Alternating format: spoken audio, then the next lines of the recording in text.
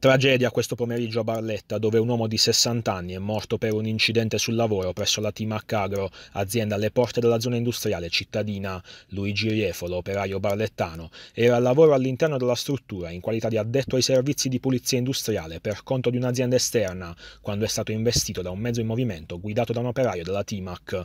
Ancora tutta da accertare la dinamica dell'incidente, attualmente al vaglio degli organi competenti. Sul posto è stato tempestivo l'intervento del 118 dei tecnici tecnici dello Special dell'ASL provinciale e dei carabinieri. Per l'uomo però non c'è stato nulla da fare.